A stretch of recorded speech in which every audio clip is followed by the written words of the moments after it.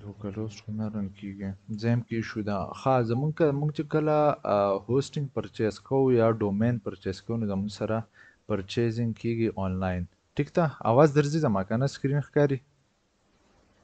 جی سر جی سر یس سر ها یس ها سر ها صحیح ده صحیح ده ها مونږه پرچیزینګ کو زمون سره مختلف قسمه ویب سایټس دي صحیح ده چې مونږ له سرویسز راکړي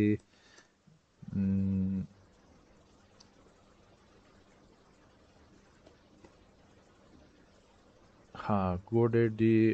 هوست ډاټ پی کې ها زمون سره کله چې مونږه ډومین ځانه پرچیز کو ډومین خو پیژنې کنه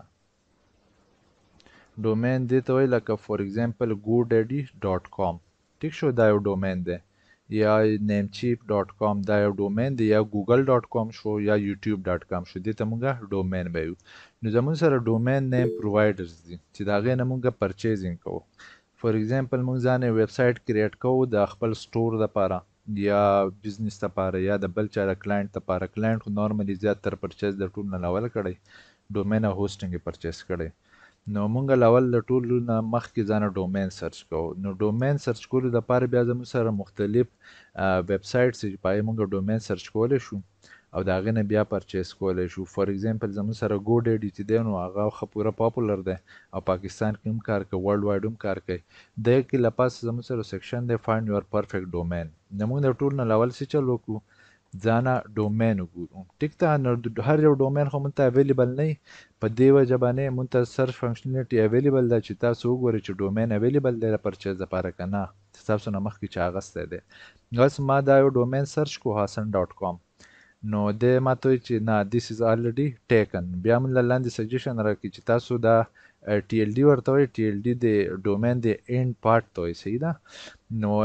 زموږ سره دا نور ټي ایل ډیز اویلیبل دي ډاټ کام کې دا اویلیبل دي دمونږ سره او په دې نورو کې ډاټ کام ډاټ سي او ډاټ لایف ډاټ زون دا اویلیبل دي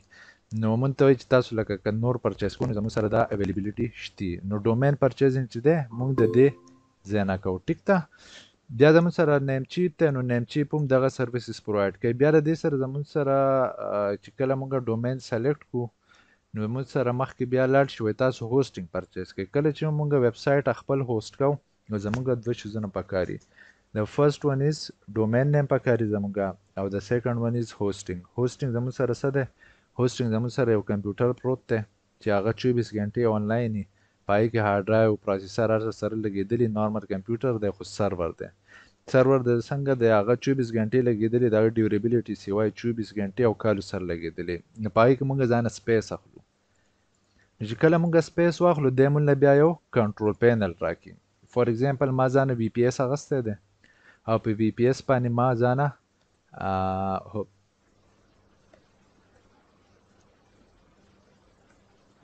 په وی پی اس باندې ما کنټرول پینل انسټال کړی دی وی پی اس خو پیژنې کنه ویرچوال پرایویټ سرور دا یو سرور دی چې ورچولی ډیوایډ کړی یو ډیډیکیټډ کمپیوټر یي خو په هغه کې حصې ډیوایډ کړي نو هغه ورچوال پرایویټ سرور ورته ویلی شي نو یو کلاینټ یو اغستی شي ورچولی ډیوایډ کړي یو کمپیوټر په مختلف حصو کې ډیوایډ کړی نو ما یو وی پی ایس واغستو په هغې باندې می کنټرول پینل انسټال کوم او د هغه سره ما ډبلیو تری هوسټ ډاټ پی کې چې د دا ډومین لینک کو او هغه بیا سب ډیویژن ما وکړو د هغه د سی ډبلیو پی کنټرول پینل په ترو باندې نو اوس به موږ دې چل وکړو چې یو هوسټینګ ته به لاګین شو زما سمات خو یوزر نیم نه دی یاد خو سی پینل هم دلته ما سره سٹور دی هوسټینګ زما سره دا راغی سیده دا شیرډ هوسټینګ دی فار ایګزامپل ما سره یوزر نیم راغی او پاسورډ لاغی زه پینل ته لاګین شوم د پینل دا یو آر ایل دی د کنټرول پینل وس رالم دلته یوزر نیم او پاسورډ به انسرټ کم او لاګین به ووام نو دی به چل وکړي زمون کم د ډومین کنټرول پینل چې دی او هوسټینګ چې کم دی هغه ته به مونږه لاګین کی دنه کله مونږه هوسټینګ ته لاګین شو نو په هوسټینګ کې بیا زموږ سره مختلف آپشن راشي کم چې په زین کې تاسو سره داسې نارملی اویلیبل نه دي ټیک ده زموږ سره دلته بیا دی سی ډبلیو پی سیټینګ دا سی ډبلیو پی کوم پینل چې یوز شوی کنټرول پینل نو دا د دې سیټینګز دي بیا فایل منیجر زموږ سره امپورټنټ پارت دی او ډومین او مای سیکویل سرویسز چې کوم دي دا زموږ سره د ټول نه امپورټنټ پارټس دي د ویب سایټ کریشن لپاره بیا به نیکسټ راځي سب ډومینز په ډومین سره زموږ سب ډومینز راځي ډومین چې کوم نو هغه زموږ روټ ډومین دا دلته وګورئ مین ډومین زموږ سره دی سټریمرز بلاګ ډاټ کام دې ته زه لاړ شم نو دا فایلز چې ټول دي دا ټول په دې هوسټینګ پینل کې هوسټډ دي ټیک ده دا یو ورډپریس بلاګ دی ما کریټ کړی بل ورځ ما له تیم هم چینج کوم دا ټول دلته هوسټ دي زمون سره فایل منیجر دی دلته فایل منیجر فایل منیجمنت ته چې لاړ شم فایل منیجر په نیو ټیب کې به اوپن کم زمون سره بیا چې څنګه په زیم کې ایچ ټی ډاکس فولډر دغه شانتي په سرور کې زمون سره پبلک انډرسکور ایچ ټی ایم ایل فولډر پبلک انډرسکور اېچ ټي اېم اېل کې چې مونږ څه هم ږدو هغه به په دغه ډومېن باندې کال کېږي فور اېکزېمپل اوس دلته زمونږ سره ورډپرېس انسټالېشن دی ډبليو پي اېډمېن په روټ ډارېکټرۍ کې اېنډېکس فاېل د ورډپرېس کوم ځای پروت دی په پبلک انډرسکور اېچ ټي اېم اېل کې څنګه چې اېچ ټي ډاکس زمونږ سره هغه په هغه مین ډایرکټرۍ کې پروت دی نو کله چې زموږ دا ډومین څوک اکسیس کوي نو دا ورډپریس نه دی دا ورډپریس رن کیږي به موږ داسې چل وکړو چې موږ به ورډپریس انسټالیشن په دې هوسټینګ کې دوباره وکړو خو څه چل به وکړو یو سب ډومین به کریټ کړو دا ډومین سره موږ له سب ډومین فری راکړي ټیک ده او هغه بیا هوسټینګ پورې ډیپند ده چې موږ له څونه سب ډومین راکړي دلته زما سره سب ډومین ما دې اکاونټ ته علاوه کړی دی چې 10 سب ډومین د دې سره دی به چلو کوم اډ نیو سب ډومین سب ډومین لوټ شنو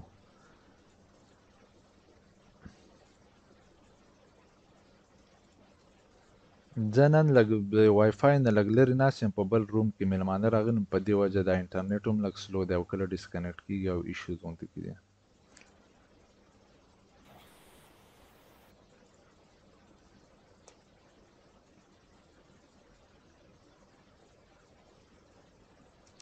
ها زمون سره سب ډومین چې مونږه اډ کو دا غنه پس په مونږ سچل کو خپل ټول فایلز چې دی هغه به ترانسفر کو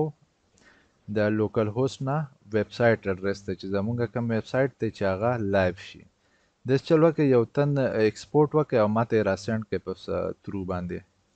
یو ویب سایټ ایکسپورټ که د ټول نه ښکلی ویب سایټ د چاو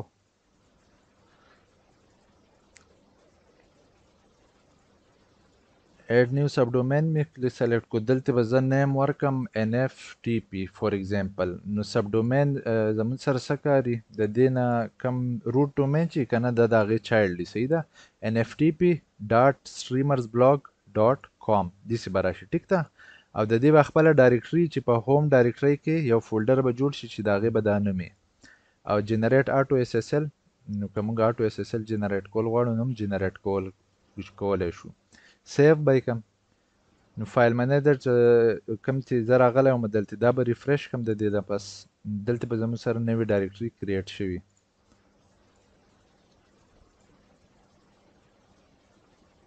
دا د نوې ډایرکټري زموږ سره رااله nftp.streamersblog.com زه چې اوس دې ډومین ته لاړ شم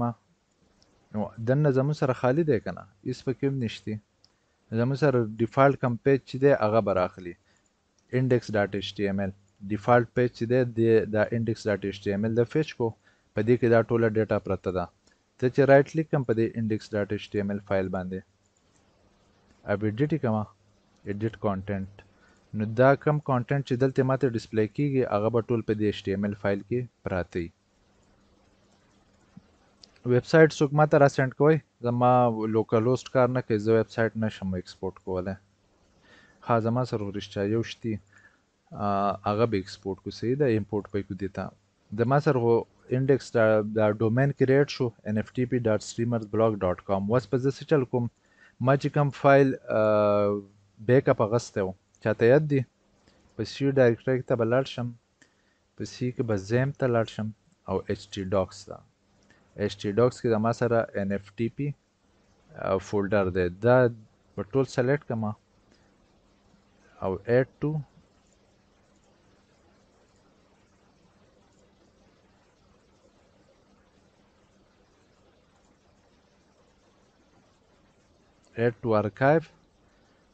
او ان اف ټي پي زموږ سره په هوسټنګ باندې ریر فایل چې دی نو هغه نه ایکسټریټ کیږي نو زه به یې زیپ ته کنورټ کړم ټیک ده زموږ ټول فایلز چې دي هغه به په دې زیپ فایل کې کمپریس شي دا د څه لپاره موږ کمپریس کړو چې موږ ډایرکټ دې ته ټرانسفر وکړو یو خو دا میتډ دی زموږ سره د فایلز ټرانسفر کولو بیا زموږ سره یو بل میتډ دی موږ چې اف ټي پي نوم څوک پیژني اف ټي پي دا ما تاسو ته بله ورځ ویلی وم فایل ټرانسفر پروتوکول دی ایف ټی پی چی دی نو د هغی لپاره بیا په ډیسټاپ کی زموږ سره کلاینټس دی چی کوم فایل ټرانسفر لپاره یوز کیږی یو له ټول نه پاپولر پکی فایل زیلا دی وین ایف سی پی دی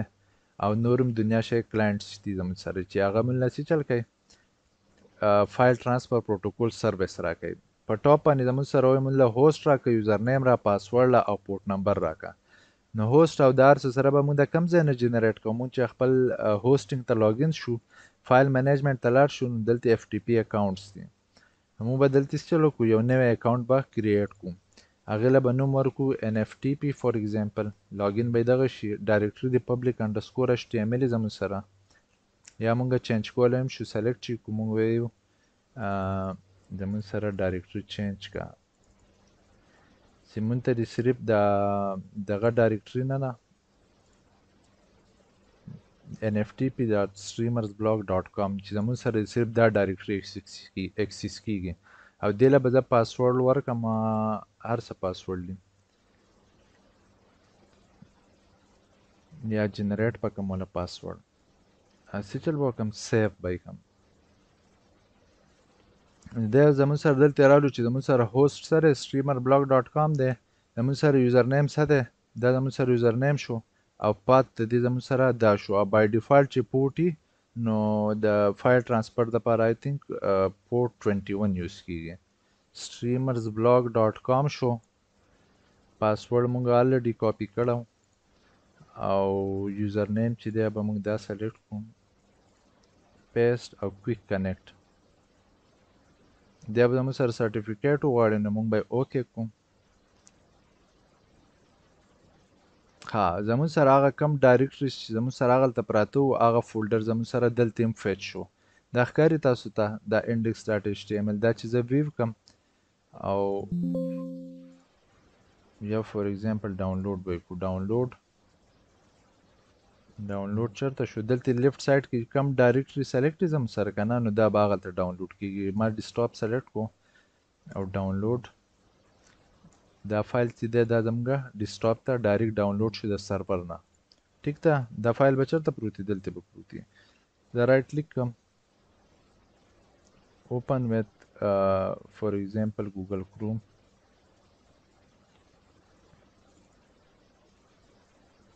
نو کوم زمونږ چې په ډومین باندې کوم انډیکس فایل او هغه ماته دلته لوکل ته راغی صحیح ده نو دغه شانتې مونږ فایل ترانسفر کولی شو که مونږ وایو چې مونږ اف ټي پي یوز کوو د خپل فایل ترانسفر لپاره نو مونږ به څه چل وکړو خپل ډایرکټرۍ ته به لاړ شو کوم زیمپ انسټالیشن کوم ډایرکټری چې و سی ډرایو په سی ډرایو کې زمون سره زیم فولډر و په زیم کې دنه ایچ ټی ډاک او زمونږ کوم اپلیکیشن چې و هغه فایل به مونږه کنټرول ای کو رائټ کلیک او اپلوډ به سٹارټ کو خو دا فایل چې دون دا ډیر زیات سیوای او اپلوډینګ کوم ډیر زیات ټایم اخلي د دې دوجې دا به مونږه یو زیپ فایل ته اډ کو چی زیپ فایل ته ایډ شی مونږ به صرف هغه زیپ فایل اپلوډ کو او په سرور سایټ کی زمونږ سره دا اپشن اویلیبل وی چی مونږ دا زیپ فایل ایکسټریکټ کولای شو چی کله زیپ ایډ شی زیپ ارکایو کمپلیټ شون د دې اپلوډینګ ما مونږ سٹارټ کو ټیک ده بیا زمون سره نیکسټ دی ډیټابیس څنګه چې په لوکل هوټ سره مونږ سره ډیټابیس پکارو دغه شانتي په هوسټینګ کې زمونږه ډیټابیس پکاري نو ډیټابیس به کوم ځای فاوند کیږي اس کیو ایل سرویسز کې ایس کیو ایل سرویسز کې دننه پي ایچ پي مای اډمین چې کوم موږ اکسیس کوو هغه هم اویلیبل دی او مای سیکویل منیجر هم دی او شو مای سیکویل پروسیسز دا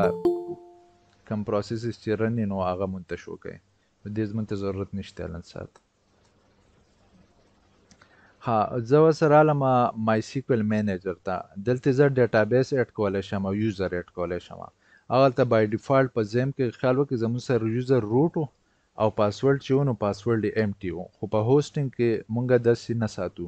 او بلکې د سیکیورټي د وجې دی زمونه پاسورډ به هم پرومپټ کوي صحیح ده نو زه بس چل وکم ایډ ډیټابیس به کما او ډیټابیس نیم به ورکم چې ان ایف ټي په زمون سره ډیټابیس نیم شو کریکټر سیټ به ډیفالت پریدم څنګه چې مونږ هلته پریښودو یوزر چې دی نو زما سره یو یوزر الریډي دلته کریټ دی دویم چې نوی یوزر ایډ کول غواړم نو نوی یوزر به ایډ کما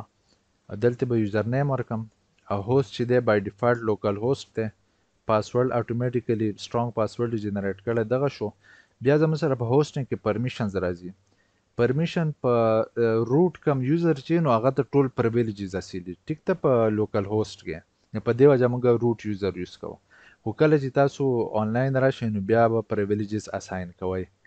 دلته به د ډیټا سلیکټ انسرټ اپډیټ چې کوم ایس کیو ایل فنکشنز دي د هغې پرمیشن ما ورکوم او سټرکچر کوم کریټ ډراپ او ټول کوم سټرکچر چې یوز کیږي کوم موږ ایس کیو ایل کې یوز کوو لینګویج کې نو هغه پرمیشن به د یوزر له زه ورکم ریسورس لیمټس ورته هم زه اساین کولی شم چی لیمټډ ریسورسز د یوزر له ورکه خو ضرورت نشتی او سیف به یی کم د ما سره سرالو ما سره ډیټابیس راغی ټیک ده د ډیټابیس سره د ما سره ډیټابیس یوزر راغی او داغه هوست راغی زما سره او پاسورډ چې دی هغه بای ډیفالت ما ځان سره سیف کو اتوماتیکلی جنریټ کړو اوس دا یم چې زه دې یوزر ته د دې ډیټابیس ته خپل ډیټابیس امپورټ کول غواړم نو د هغې لپاره به موږ څه یوز کوو پی ایچ پی مای اډمین پی ایچ پی مای اډمین به سلیکټ کړئ نیو ټیب کې به اوپن شي بای ډیفالت خو دی اتوماتیکلی لاګین کی که تاسو نه دی یوزر نیم پاسورډ غواړئ نو کوم یوزر نیم او پاسورډ چې تاسو دلته کریټ کړی نو هغه به ورته انسرټ کړئ نو دی به الو لاګین کیږي ټیک ده خادم وغوښتل نو پاسورډ به زه دې چل وکم نوټ پیډ دا پاسورډ لږه مو سره د مون سره دا ډیټابیس نیم دی د مون سره دا یوزر دی نو زه به یوزر سلیکټ کړم یوزر نیم به دلته انسرټ کړم او کم پاسورډ چې مون کریټ کړی وه به راولو او دلته به انسرټ کړو او لاګین به شو نو اوس کم ډیټابیس چې ما کریټ کړو نو هغه د پی ایچ پی ما ایډمین په ترو باندې زه اپډیټ کولای شم ډیټا ته ایکسپورټ کولای شم امپورټ کولای ورته هم شم اس کیو ایل پکې رن کولای شم سټیټس او انجن ایټسټرا دغه نور آپشنز دي دا به خپل ډیټابیس سلیکټ کم او کوم ډیټابیس چې ما لاست ټایم ایکسپورټ کړ او هغه ډیټابیس به زه سلیکټ کړم ایمپورټ ټیب ته به لاړ شم دلته ایمپورټ ته رالم کوم ډیټابیس چې ما ایکسپورټ کړ او یاد یو دی کنه ان اف ټي پی ډیټابیس چې زموږ سره نو هغه ته به زه لاړ شم او هغه ډیټابیس به سلیکټ کړم دا دی ان اف ټي پی ډاټ اس کیو ایل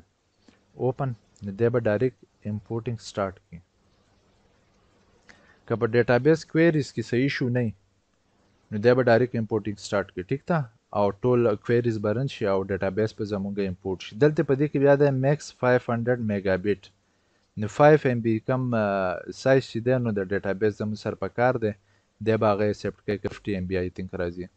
نو بیا به موږ څه چل کوو په بیا به په مای سیکویل کم آی این آی فایل چی کنه په هغه کې به چینج کول پکاري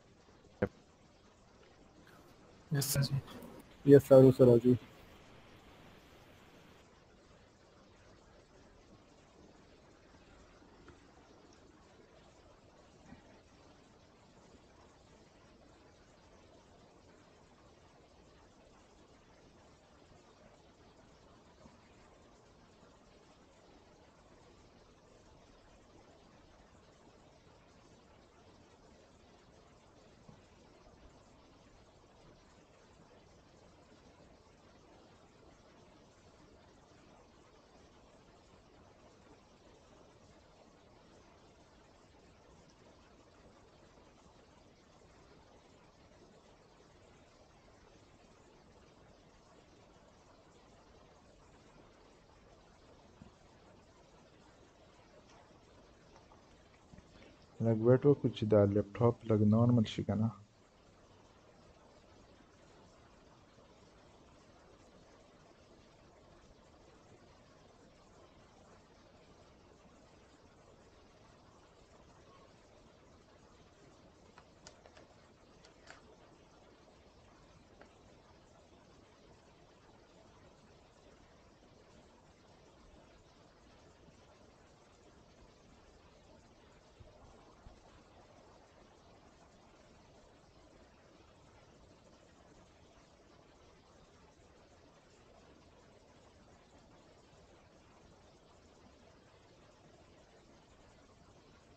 زموږ سره کوم امپورټ پروسس ریسټارټ وکنه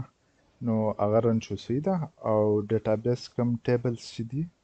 هغه زموږ سره ټول امپورټ شو د دې نه پس موږ څه چل کوم کم زیپ فایل چې موږ سٹارټ کړو نو الا کمپلیټ شوی نه د خو هغه به امپورټ کوو زموږ سره ټوله ډیټا چې ده هغه زموږ سره دلته رااله وو کامرس والا کم یوزرز ارڅ سره چې موږ کریټ کړي ټوله ډیټا زموږ سره ډیټابیس ته رااله خو په دې کې یو ایرر مونږه څه وکړو یو سټیپ پکې مونږه سکیپ کو چې هغه کمپلسری و کم سټیپ و کله چې موږ ډیټابیس نوی هوست ته امپورټ کوو نو د هغې به موږ څه چل کوو د هغې یو آر ایل په ډیټابیس کې چې کوم انسرټ شوي نو هغه یو آر ایل به اپډیټ کول لازمي نو هغه سټیپ پکې موږ یور کو چې هغه وکړو بس ډیټابیس به دوباره بیا امپورټ کوو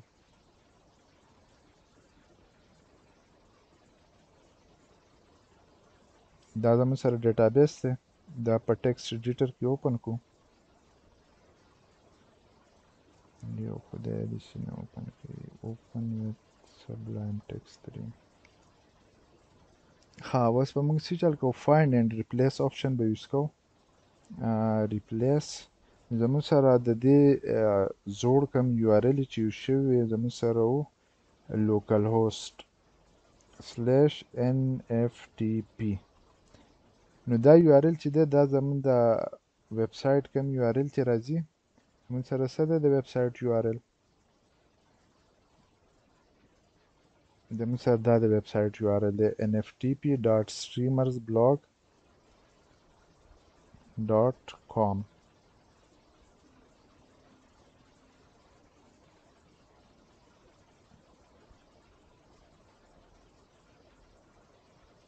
دا به مونږ دلته انسرټ کو اسی چل به وکړو ریپلیس آل به وو ټیک ده نو دا یو آر ایل تاسو لیدو ان اف ټی پی ډاټ کم جوړ یو آر ایل چې نو هغه اسی چل به کو ریپلیس کو ریپلیس آل په دې ډیټابیس کې چې کم ځای کې دغه یو آر ایل یوز شوی کنه لوکل هوست اف ټی پی نو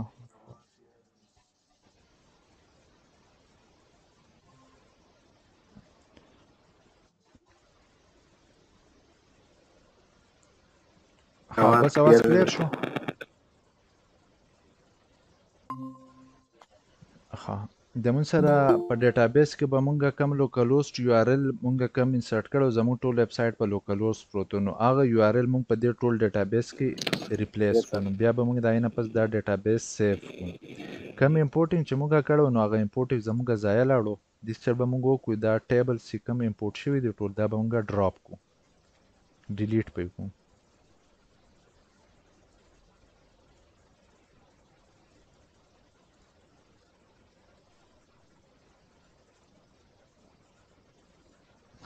سلیکشن هم نه کوي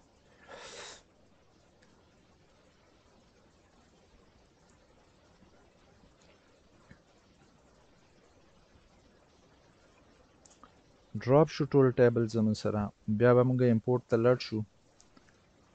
او هغه ډیټابیس به سلیکټ کو په کوم کې چې موږ یو آر ایل چینج کو او دوباره به امپورټ کو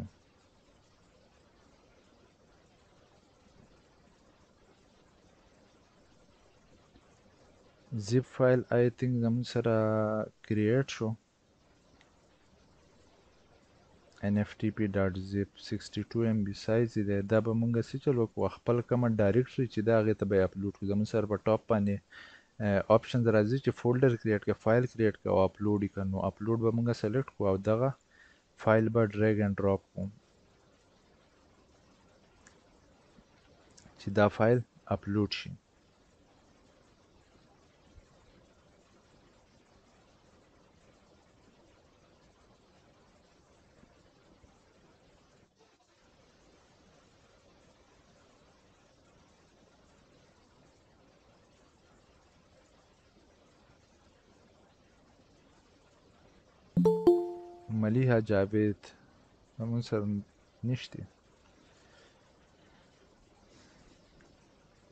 ها زمونږ کوم ډیټابیس چې دی هغه دوباره امپورټ شو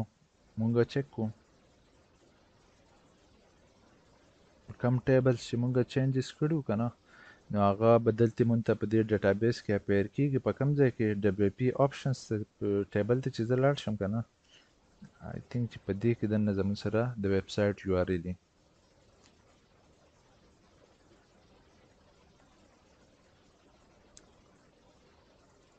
یو آر ایل وسم زم سر صحیح نه دی آی تھنک چې دې صحیح کار ونه کو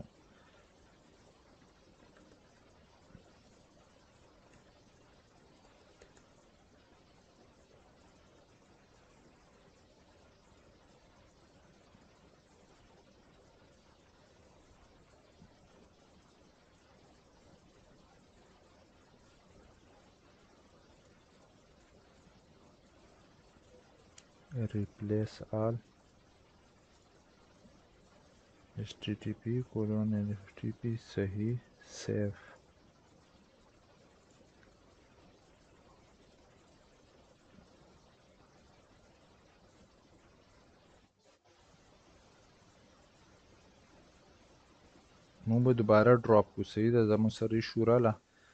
ټیبل چې کوم نو هغه په صحیح فارمیټ کې نه وو کم ډیټا چې وو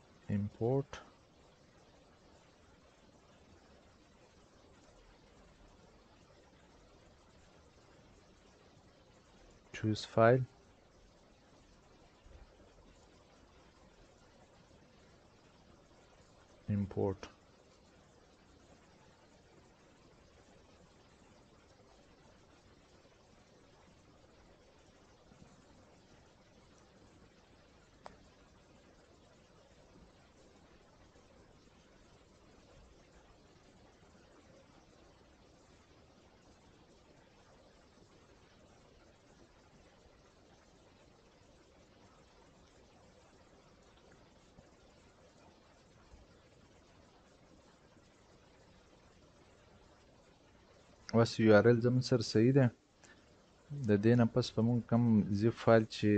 اپلوډ شي هغه به ایکسټریکټ کو او زموږ ټول کنفیګریشن چې هغه په wp-config فایل کې پراته دي د ډیټابیس کوم کنفیګریشن یاد دي ټولو ته کنه غیر کړی دي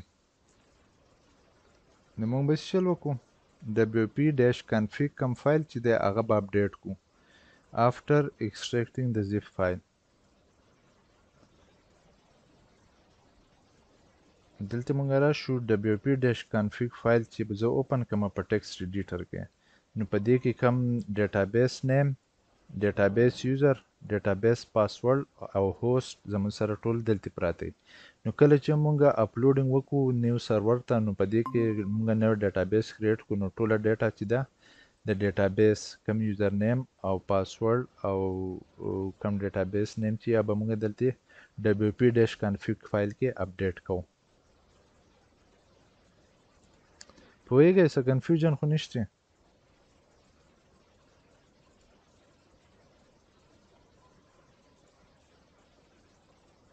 چا څه کوېشنې د دې لیکچر په دوران کې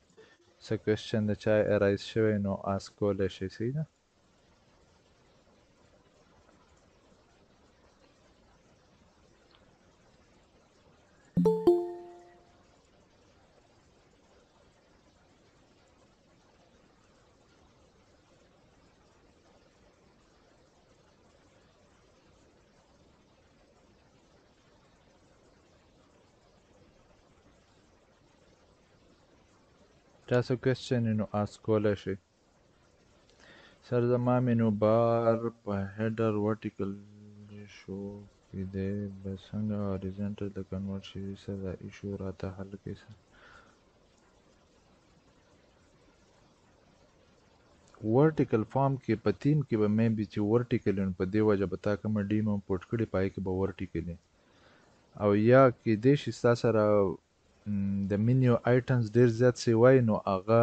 مینیو کې ډیر زیات څه وای شوی نو ورټیکل شوی غونته کې مینیو نه آیټمز کم کا نو هغه به صحیح شي نه دا هوسټینګ فری نه دی دا زما خپل هوسټینګ دی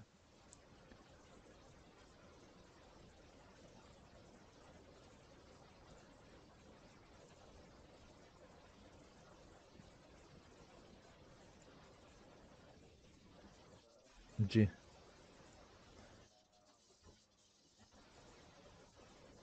ډومین او هوستینګ ایکسپلین کوم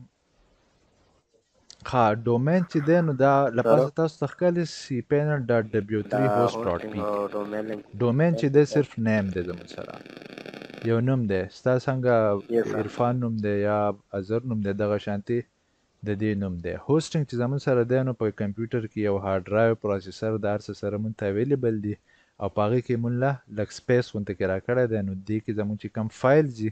هغه په کې مونږ ږدو نو دې ته مونږ هوسټنګ وایو هوسټ ورته ولې وایو چې ټول فایلز په کې پراته دي. دې وجې نو ورته هوسټ وایي. ښه زمونږ سره هوسټینګ ته مونږ فایل منیجر په ترو کوم زمونږ ډومین و د هغې روټ ډایریکټرۍ ته مونږ خپل زیپ فایل اپلوډ کړو د زیپ فایل اپلوډ نه پس زمونږ سره دلته رایټ چې کلیک کړو آپشنز راځي ډي کمپریس ډي کمپریس چې دی نو د دې لپاره یوز کیږي کوم زیپ فایل چې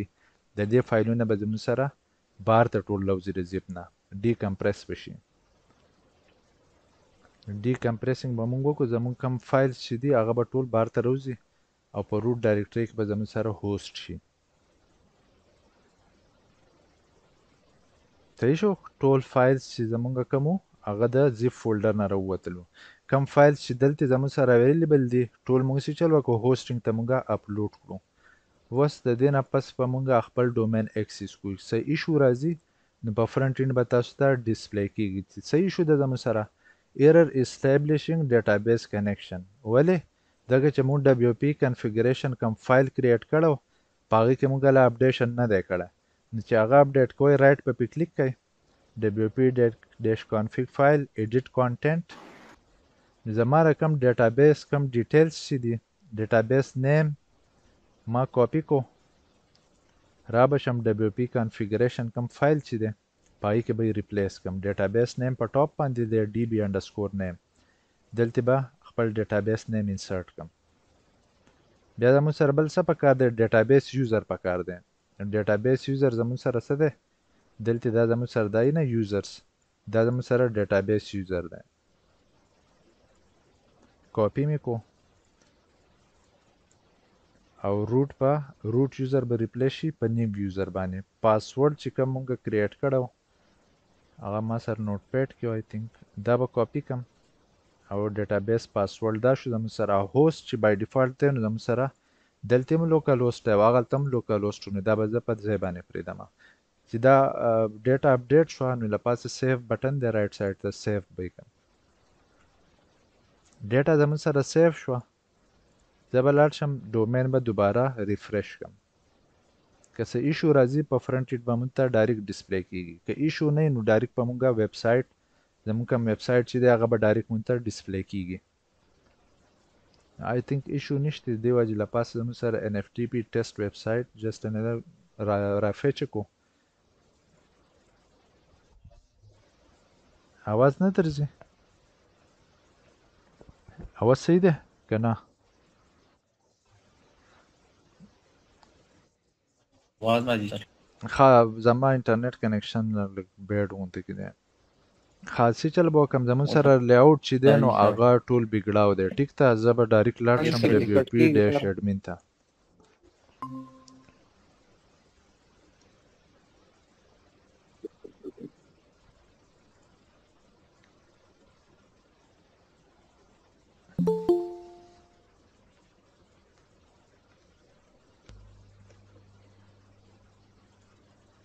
د بیوپی ډیش اډمین کې مونږه اډمین ایز یوزر نیم سیټ اپ کړو او اډمین 1 2 3 ایز ا پاسورډ دا ویب سایټ چې ده دا وس تاسو په خپل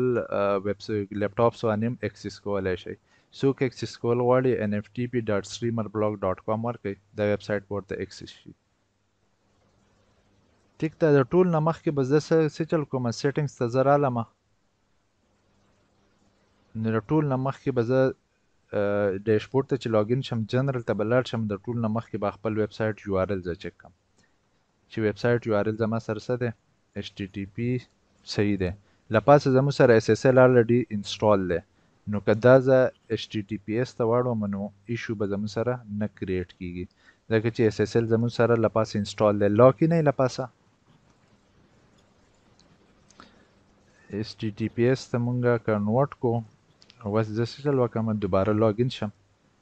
نو زموږ ویب سایټ ټول ایچ ټي ټي پی ایس شو ویب سایټ فرنٹ اینډ موږ ډیسپلی کو ته صحیح دی کنه دی صحیح نو ویب سایټ فرنٹ اینډ زموږ سره څه چل دی بالکل صحیح دی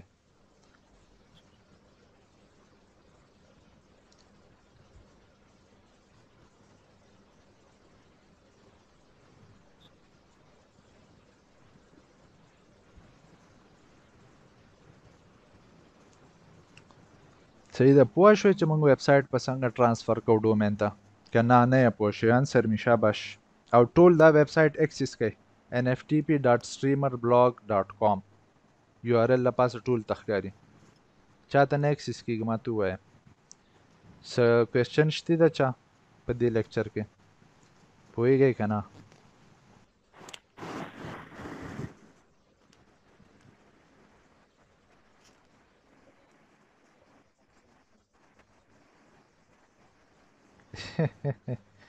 پریکټس به څنګه کوی په خپل وزانه هوستینګ پرچیز کې او ډومین بیا پریکټس کوی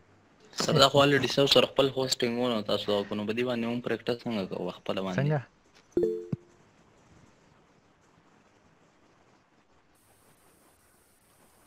هوسټینګ چې دی نو د ټول نه لول ما تاسو ته ویلي چې هوسټینګ سیلینګ چې دی نو مختلف کمپنیانې سرویس درګی تاسو له هغې نه تاسو پرچیس کولی شئ د ده نه چې پرچیس کوئ د دې ګو ډیډي نه دې کې به ستاسو سره کریډیټ کارډ ضروري وي صحیح ده کوم آنلاین سیشن چې په کوم بانک کارډ باندې کولاوي هغه به لازمي ځکه ټرانزیکشن د پاره د دوه هغه پکاري نیم چیپ باندې پرچیس کوئ نو هم د دوه هغه پکاري بیا زموږ سره پاکستاني څه ویب سایټس دي پاکستاني هوسټینګ سرچ کړئ ګوګل کې نو دې کې ځینې داسې ویب سایټ دي چې هغه جیسکه جیس کیش دی که څه دی او ایزي پیسا هغه هم ایسپټ کوي هوسټر پی کې فور ایګزامپل نو دونه تاسو ځانه ډومین هوسټینګ پرچیس کوئ نو پرچیس کولی شئ ټیک ده او د هغې پرایس چې دی نو دو دلته درکړی 2820 پر ییر او دا 100 ایم بي ډیسک پیس به درکړي 1000 ایم بي او 20 جي بي بینډ ویت او فري ډومین رجسټریشن دی او دا دا فیچرز دي نو څوک ځانه پرچیس کوی نو پرچیس کولی شي او زموږ سره په کلاس کې یو سټوډنټ و د هغه هم خپل کوم هوسټینګ دغه چې و خپل هوسټینګ کمپني ټایپ غونتی کې وه د هغه نه هم پرچیس کولی شي او د چا په کاري د کمرشل یوز دپاره نو زه ورته هم افر کولی شم ټیک ده خو د ډومین او ددې چې دی نو ښه پراپر پیسي مطلب ستاسو اخلی ډومین نو مونږ هم پیسي ورکوو څوک زما نه اخلي زه به یې هم پیسي ورکوم اخوا فارورډ کوم به نو ټول هغه حساب یې جوړیږي چې پیسو لانجه ده صحیح ده پوه شوي دا ویب سایټ د ټولو سره اکسیس کیږي اکسیسیبل ده ښه ښه نو دا ویب سایټ چې دی نو دا زمونږ ورلډ وایډ وس لایو پروت دی نو د دنیا د هر حصې نه هر سړی دا ویب سایټ وس اکسس کولی شي چا څه کوېسچن و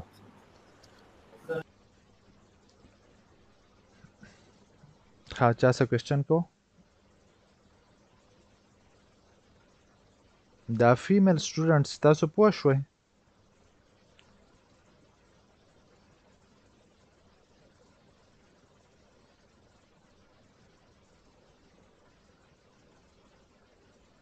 تا ته ویب سایټ نه اکسس کیږي دا یو ار ال زه دلته سند کوم نو ټول ته بیا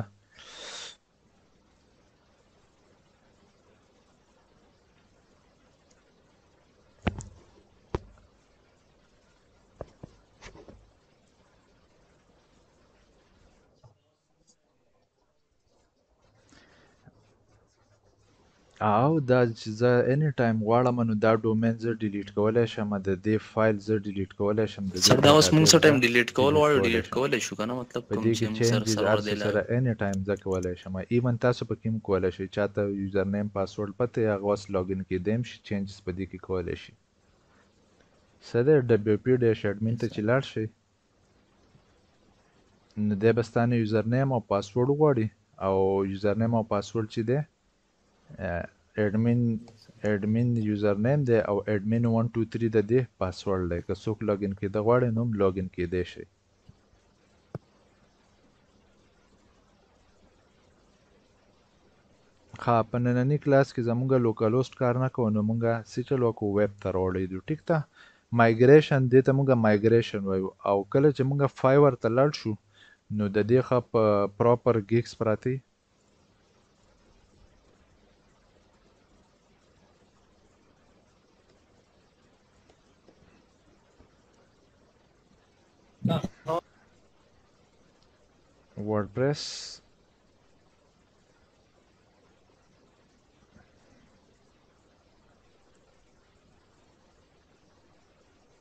Migration.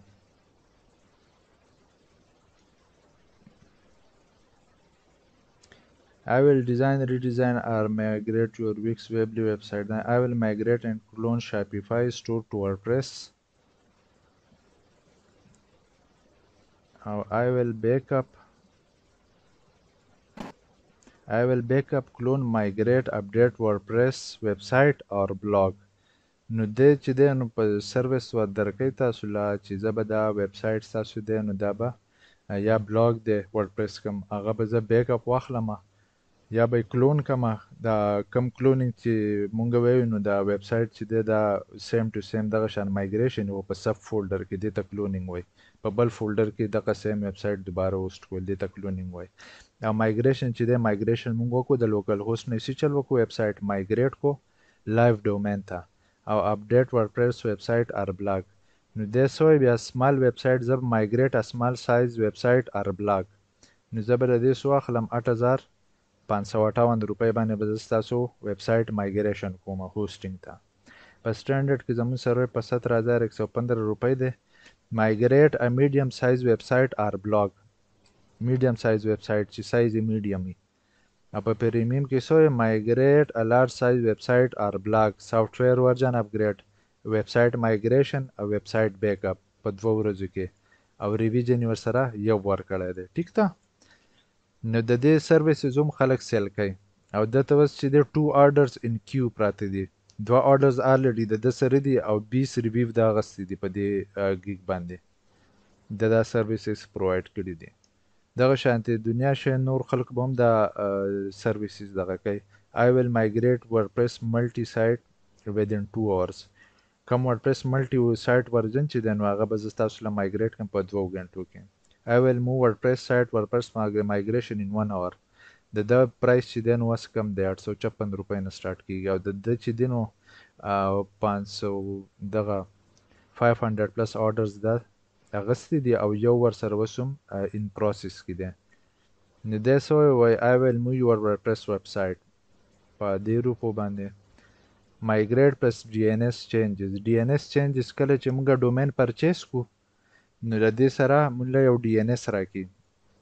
نو هغه ډي ان اس کې مونږ څه چل کو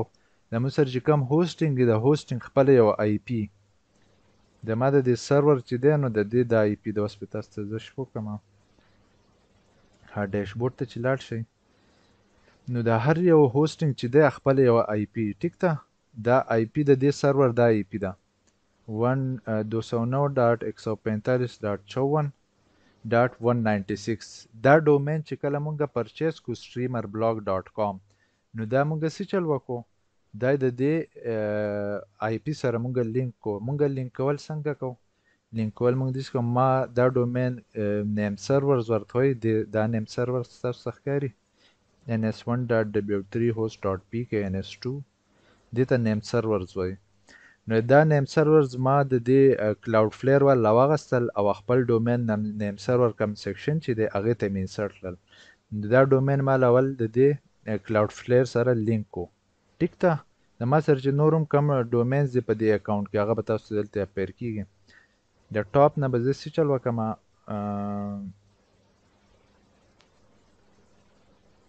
ښه دلته نه دی اډ کړی ما ښه خو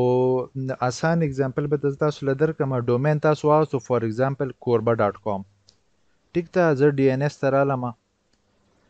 په ډي ان اس کې بیا زموږ سره دا سرویسز دي چې موږ ریکارډز نه دي ریکارډ اډ کولای شو ای ریکارډ چې کوم زموږ دی نو دا ډایرکټلی موږ د کوربه ډاټ کام راغه سره دی ډومین او چرته یې پوینټ کړی زموږ کم سرور آی پی چې ده هغه ته یې پوینټ کړی او بیا د سرور خپل یو کنټرول پینل دی چې پای کې زه یوزر اکاونټ کریټ کوم پای کې ما کوربه ډاټ کام اډ کوم نو دا ډومین چې دی دا ډایرکټ زما ده ویب سرور نه دی کم نه هوسټینګ چې دی د هغې سره به ډایریک لینک شي د دې ځای نه مونږه ای ریکارډ چې چینج کو پوینټ وکړو دې آی پی ته دا ای پی د چا ده دا زما د سرور ده نو دا ډومین نیم چې دی دا زما د سرور سره لینک کړی شي او نور بیا په سرور سایډ باندې آپشن دي د هغه ځای نه به یوزر اکاونټ کریټ کې یوزر اکاونټ چې کریټ کې هغه به تاله یوزر نیم او پاسورډ درکړي نو بیا د یوزر بیا خپل پینلی دلته یوزر نیم زما سره سټریمر دی او پاسورډ چی دی هغه پاسورډ ما جنریټ کړی او هغه پاسورډ دی چی زه کله لاګ ان شم دی پینل ته نو دلته زما سره د سرور ډیټیل ځی په سرور کی دی ما ته وای ددی ویب سایټ ددی هوسټینګ چی کوم مین ډومین دی هغه دا دی ټیک ده ددی پیکج چی دی ټو جی بی پیکج دی او سرور ټایم یی راکړی دی او ددی سرور آی پی زموږ سره دا ده او د سرور کوم نیم سرور ریکارډز چی دی نو هغه دا دی زموږ سره. بیا زموږ سره یور پلان سټیټس زموږ سره سونه ډیټا یوز شوی په دې هوسټینګ کې او الاو مونږ ته سونه ده نو مای سیکوال زموږ سره 10 الاو دی او ما دوه ډیټابیسز کریټ کړو ایمیل زموږ سره یو کریټ ته 10 میکسیمم ډومین زموږ سره 10 میکسیمم مونږ هوسټ کولای شو زموږ سره یو هم نشته س کم اډانس ډومین چې سب ډومین نه دی راغستی او اف ټی پی اکاونټ زموږ سره یو دی بیا د مصر دلته په سی ډبل د دغه کې پینل هر یو پینل کې جدا جدا نور نورم سیټینګز راځي دا صرف په زیرې له دا کسان راځي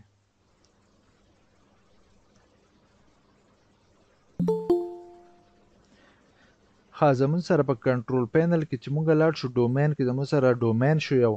کم ډومین چې مونږ لینک کو د دې هوسټینګ سره هغه ټول بدلتي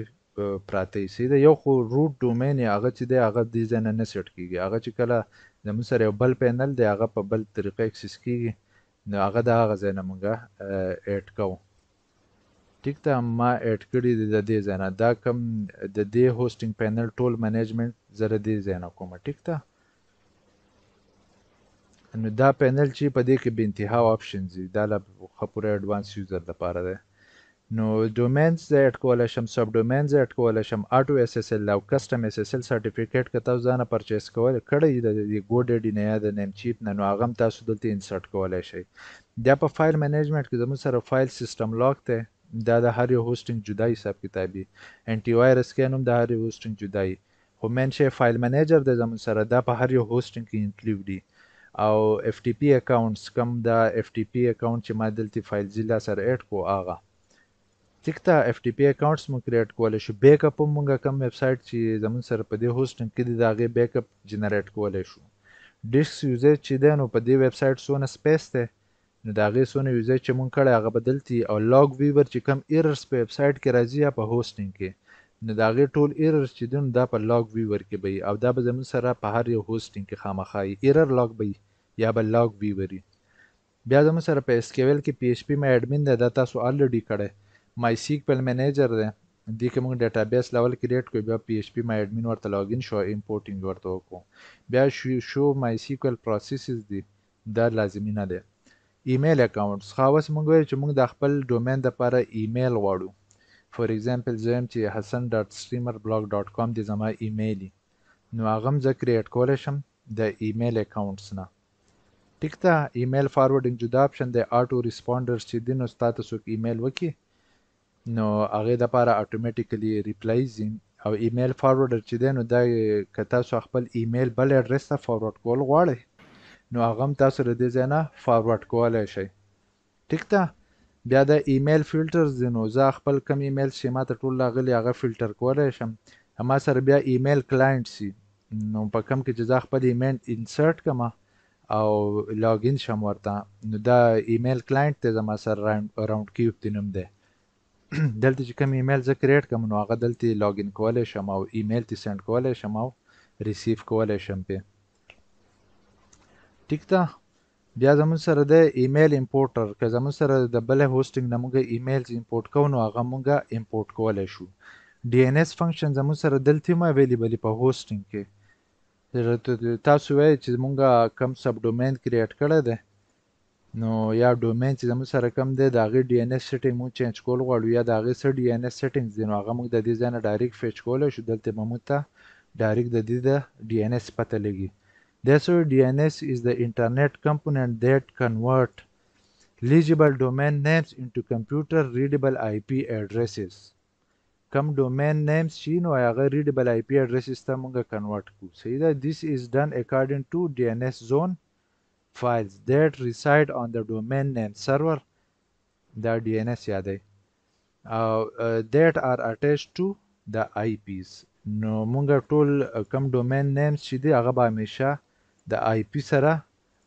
اټیچټي لازمي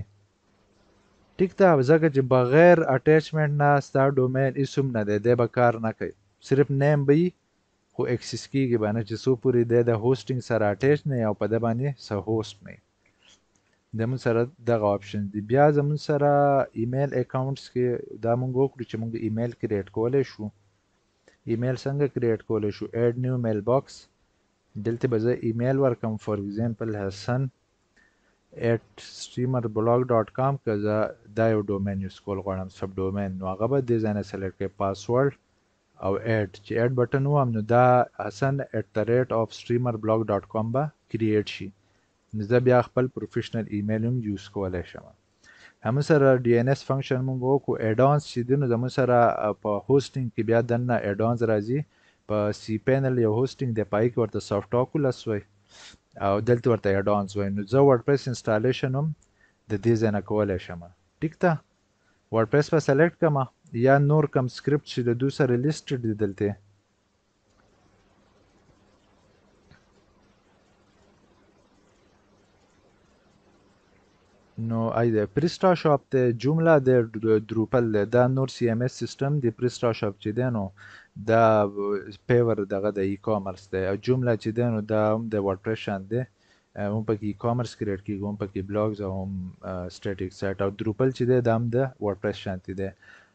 نو له دې ځای نه زه ډاریک په خپل هوسټینګ باندې ورډپریس هم انسټالولی شم ایډ نیو ورډپریس چې سلیکټ کړم نو دی به زموږ نه ریکوایرمنټ چې کوم وي هغه به وغواړي او ډایریکټري فور ایگزامپل او ډیټابیس هر څه سره دی بیا په خپله کریټ کوي ټیک ده نو زه ایډونز هم د دې ځای نه یوز کولی شم سایټ پرو بلډر پکې هم دی که ځانه څوک سټیټیک ویب سایټ جوړوي نو هغه هم جوړولی شي ډیسک یوزیج چی دی نو زموږ سره څونه ډیسک یوز شوی دی هغه ټول ډیټیلز دلته دی زموږ سره بیا دلته په هوسټینګ کی اپاچی ورجن دی چی کوم ورجن دی او ددی هوسټینګ پی ایچ پی ورجن کوم یو یوز شوی او مای سیکویل کوم یو ورجن یوز شوی هغه انفارمیشن زموږ سره دلته پراته دی ټیک ده پوهیږی.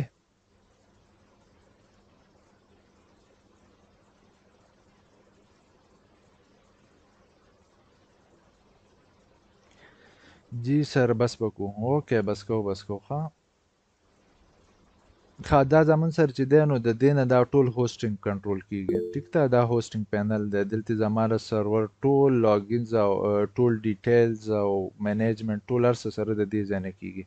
یوزر اکاونټ، پي ایچ پي سیټنګز، سرور سیټنګ، اې ټو زیډ ډومین سیټنګ، ایمیل، سیکیورټي، ډي ان ایس، اې ټو زیډ هر څه سره ټول د دې ځای نه کیږي. دا جدا پینل دی دا لږ اډوانس لیول والا دی. ښه نن تاسو هوسټنګ وپیژندو چې هوسټنګ کې دننه زموږ سره څه څه آپشنز دي او څه څه فیچر زموږ سره اویلیبل دي او موږ له کم کم امپورټنټ فیچرز چې دي هغه به یوز کوو د ورډپریس د هوسټینګ د پاره یا یو ویب سایټ مونږ مایګریټ کوو نو پای کې زمونږ سره کم کم د هوسټینګ فیچرز دي هغه زمونږ سره یوز کیږي د هغې نه پس مونږ څه چل وکړو ډیټا بیس یې کریټ کو او خپل فایلز یې راوغستل هغه یې ټرانسفر کړل او د هغې نه پس بیا په ډیټا بیس کې کم ډومین چې مونږ یوز کړو هغه مونږ اپډیټ کو کم ډومین ته کم د هوسټینګ ډومین چې هغه ته مونږ اپډیټ کو او بیا یې څه چل وکړو پي ایچ پي مای اډمین په ترو باندې لاړو خپل ډیټا بیس یو سلیکټ کو او ډیټا بیس یو امپورټ کو ډیټا بیس امپورټ نه پس ډبیو پي کم کانفیګ فایل چې دی پای کې د ډیټا بیس ډیټیل مونږه اپډیټ کړو او بیا یې څه چل وکړو خپل ډومین یو اکسیس کو ډومین اکسیس کول نه پس مونږه ډبیو پي اډمین ته لاګ ان شو او لاړو سیټینګز ته یو ار ایل وکتو چې یو ار ایل صحیح دی کنه او سیو یو کو چی کله یوارل سیف کو بیا موږ خپل ویب سایټ ویزیټ کو نو دده ټول پاتس او هرڅه سره چی وو هغه زموږ سره اپډیټ شوی څه پکی میسنګ رانلو ټیک ده کله چی پات ستاسو سره صحیح نه یی نو کله به ایمیج نه ایمیج به وای چی ناټ فاونډ یا به لینکس چی کوم یی هغه به غلطی یا به آیکن ستاسو سره نه اپیر کیږی نو دغه خیال به بیا ساتی تاسو ټیک ده دغه د ټوډی کلاس وو او اسایمنټ چی چا نه یی کړی نو هغه کمپلیټ کړئ. سبا به بیا دوباره اسایمنټ چک کیږی.